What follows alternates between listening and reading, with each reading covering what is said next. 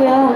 네, 앞으로 어, 이제 대학 축제도 이제 시작도 됐고, 그래서 많은 팬분, 제 팬분들하고는 또 많이 찾아뵐 수 있을 것 같아요. 그래서 어, 오늘 와주신 분들 너무너무 감사드리고요. 어, 롯데월드 25주년 진짜 진심으로 축하드리고요. 남은 시간 즐겁게 보내시다 가세요. 마지막으로 피어나 들려드리겠습니다.